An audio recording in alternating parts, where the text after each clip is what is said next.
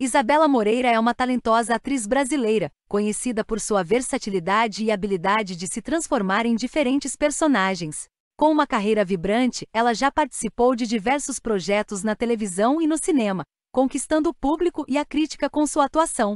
Em sua biografia, podemos ver o percurso da atriz desde o início de sua carreira até os dias de hoje.